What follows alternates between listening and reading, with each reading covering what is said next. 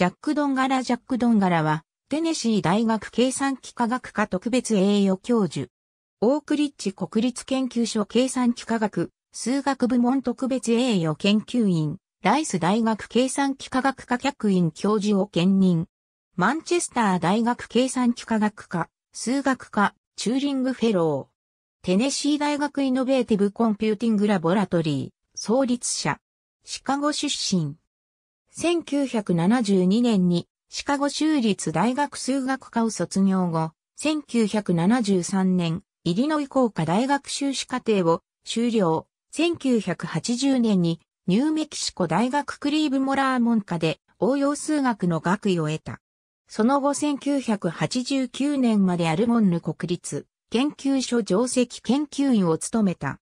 線形代数分野の数値アルゴリズム、並列処理、スーパーコンピュータ利用技術、プログラミング手法、並列計算ソフトウェアなどを専門とし、高品質な数学ソフトウェアの開発及び評価、文書化を行う。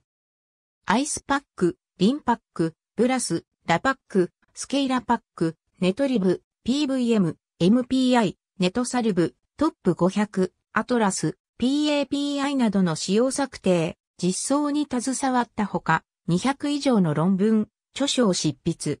アメリカ科学振興協会、アクム、IEE フェロー。全米技術アカデミー会員。半年に一度の頻度で発表される、いわゆるスーパー計算機の上位500番までの格付けとしてのトップ500とそれに用いられるハイパフォーマンスリンパックベンチマークの創始者として一般社会向けマスコミ記事などには最もよく知られている。2019年王立協会外国人会員選出。2020年コンピュータパイオニア賞受賞。ありがとうございます。